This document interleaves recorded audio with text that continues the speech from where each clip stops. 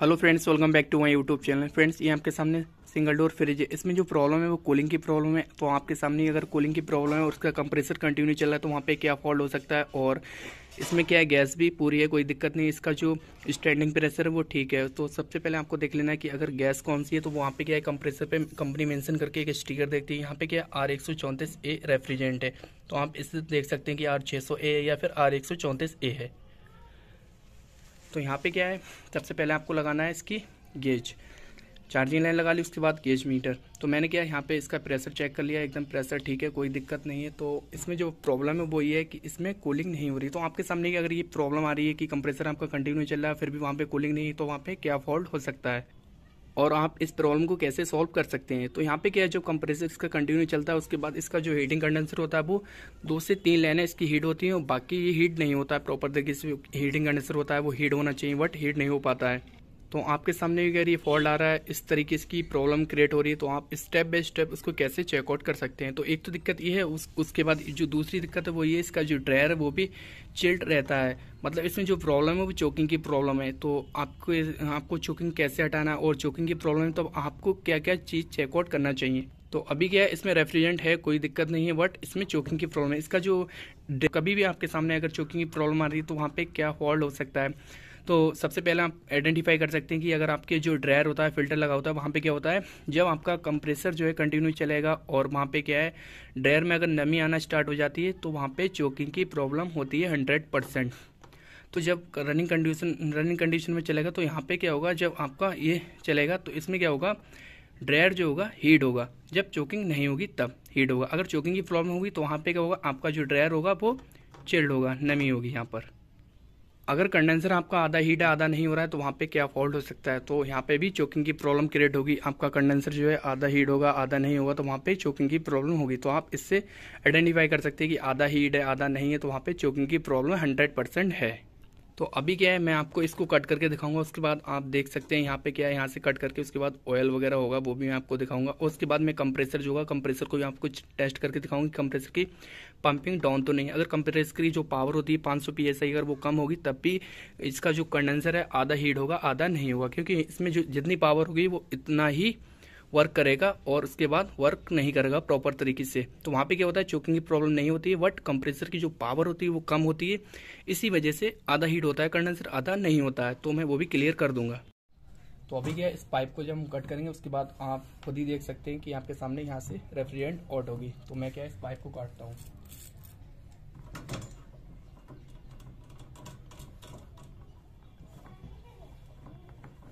तो इस पाइप को यहाँ से काटेंगे। और उसके बाद ड्रायर अभी भी ठंडा पड़ा है। ये देखें आप, यहाँ से गैस निकल रही है। आवाज़ आती होगी आपको, ये गैस निकल रही है हल्के हल्के यहाँ से। क्योंकि ये चौक में इसी वजह से यहाँ से गैस बहुत ज़्यादा हल्के हल्के और हो रही है। बाकी क्या है, जो भी गैस होगी इसके फ्रीजर में भी, जो फ्रीजर है, इसकी कैपलेटिव में, इसमें मतलब गैस होगी इसमें। तो इसको भी मैं कट करके आपको दिखाता हूँ।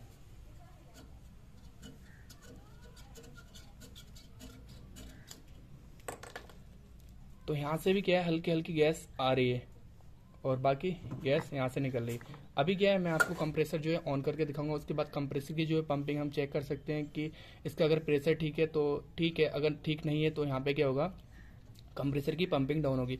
जब हम कंप्रेसर की पंपिंग को चेक करेंगे तो उससे पहले क्या करेंगे, यहाँ पे क्या होता है पिन वाल में एक पिन लगी होती है, उसको हमें निकाल देना है। तो ये पेन होती है, इस पेन का ये कैप होता है। तो यहाँ पे क्या है, जब पेन को हम प्रेस करेंगे अंदर की साइड तो इसका जो लॉग होगा, इसमें फंस जाएगा, फिर उसके बाद आप निकाल सकते हैं इसको। तो इस तरीके से इसको खोल दें।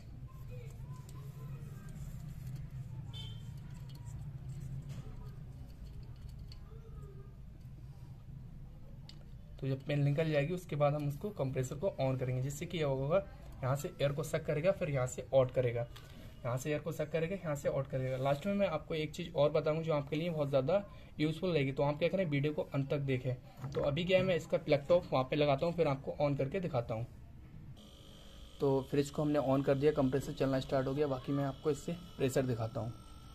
तो कभी भी आपको प्रेशर अगर चेक करना है तो यहाँ पे क्या है, आपको अंगूठा रखना है। उसके बाद इसका प्रेशर अगर बहुत ज़्यादा हार्ड होगा, आपका अंगूठा नहीं रुक पाता है तो इस कंडीशन में क्या होगा था, इसकी पंपिंग ठीक है तो आप देख रहे हैं, इसका प्रेशर एकदम ठीक है तो इसकी जो पंपिंग है, जो 500 सौ पी होना चाहिए, इसकी पावर कंप्रेसर की वो ठीक है।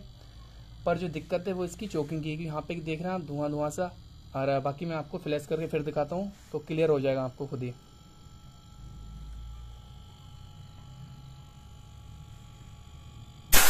देख रहे हैं आप, धुआँ सा निकल रहा है। तो कभी भी ऐसा अगर ज़्यादा धुआँ होता है तो आप क्या करें, इस कंडेंसर को ही चेंज कर देंगे ये जो जाल है ऊपर, इसको ये जाल है, इसको चेंज कर सकते हैं। तो अगर ज़्यादा धुआँ निकलता है, तब। वरना अगर थोड़ा बहुत है तो आप क्या करें फ्लैश करके फ्लैश करेंगे तो इसमें जो भी डस्ट होगी, जो भी गंदगी होगी, वो सारी निकल जाएगी। अगर आपका थोड़ा बहुत धुआँ है, तब भी कम से कम पंद्रह बीस मिनट आप अच्छे से फ्लैश करें, जिससे कि जिस, जितना भी इसके अंदर डस्ट है, जो भी गंदगी वो सारी निकल जाए। उसके बाद क्या करेंगे, जब आप इस काम को कर लेंगे, जब फ्लैश कर लेंगे, उसके बाद यहाँ पे ड्रायर लगाएँगे ड्रायर लगा कैपलेट ट्यूब लगाएँगे उसके बाद क्या करना है, ये जो सेक्शन वाला जो पाइप है, जो फ्रीजर से आया है। तो आप फ्रीजर को भी फ्लैश करेंगे अच्छे से, क्योंकि फ्रीजर में भी ऑयल होगा। फ्रीजर के अंदर बहुत ज़्यादा ऑयल होगा, जमा होगा। अगर आप ऐसे इसको लगा के और आप इसको लगाएँगे और वैक्यूम करके गैस जब इसमें डाल देंगे फ्रिज में तो वहाँ पे क्या होगा? फिर ये दिक्कत आएगी कि आपका जो फ्रिज है वो चौक होगा।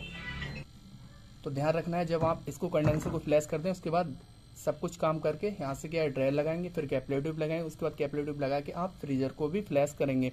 जब फ्रीजर को फ्लैश कर देंगे, उसके बाद आप वैक्यूम करके अच्छे से गैस तब डालेंगे। इससे क्या होगा, फिर चोकिंग की प्रॉब्लम नहीं आएगी और फिर जो फ्रिज होगा वो प्रॉपर तरीके से यहाँ पे कूलिंग करेगा। या फिर आप एक काम और भी कर सकते हैं, इसकी कैपलेट ट्यूब और ये लाइन फ्रीजर की, इन दोनों को निकाल के आप अलग से भी वैक्यूम कर सकते हैं। उससे ज़्यादा बेटर है कि वहाँ पे अच्छे से वैक्यूम होगा तो फ्रीजर के अंदर जो भी ऑयल होगा, जमा होगा, वो सारा निकल जाएगा। और अगर नहीं आप करना चाहते हैं ऐसा तो आप क्या करें, ये सारा काम कर दें, यहाँ से ड्रायर कैपलेट ट्यूब लगा के, उसके बाद ये वाला जो टाँका है, इसको निकाल दें, उसके बाद पूरा जो कंडेंसर है, आपका फ्रीजर है, सब फ्लैश हो जाएगा यहाँ से अच्छे से। तो इतना काम हो गया। इस तरीके से आप इसको आइडेंटिफाई कर सकते हैं कि आपका जो कंप्रेसर है वो ठीक है। जैसे कि मैंने आपको अभी बताया था कि अगर कंप्रेसर की पंपिंग डाउन होगी तो आपका कंडेंसर जो होगा आधा हीट होगा, आधा नहीं होगा, क्योंकि दो कंडीशन होती है। फिर तो आपका कंडेंसर चौक हो, तब आधा हीट होता है, या फिर आपका कंप्रेसर की पंपिंग डाउन हो, तब ये आधा हीट होता है कंडेंसर तो आप दोनों चीज़ जब आप गैस को डालें या फिर आपका चोकिंग की प्रॉब्लम है, तब भी आपको कंप्रेसर की पंपिंग जो है इस तरीके से आपको चेक कर लेना चाहिए कंप्रेसर चला के इसका प्रेशर देख के। उसके बाद ये दो लाइनें होती हैं। एक ही होती है चार्जिंग लाइन और ये जो आप देख रहे हैं, ये वाली लाइन ये जो है फ्रीजर की लाइन इस लाइन को अगर आप चाहें तो यहाँ भी कनेक्ट कर सकते हैं, कोई दिक्कत वाली बात नहीं है। ये जो लाइन है, यहाँ भी कनेक्ट कर सकते हैं। और इसे फ्रीजर की लाइन बना सकते हैं मतलब जो फ्रीजर की लाइन होती है, सक्शन लाइन, यहाँ पे कर सकते हैं, और ये जो चार्जिंग लाइन है वो इस साइड कर सकते हैं। दोनों का काम एक ही होता है, कोई दिक्कत नहीं है। चाहे तो आप इधर भी लगा सकते हैं इस लाइन को, या फिर इसको इधर भी कर सकते हैं।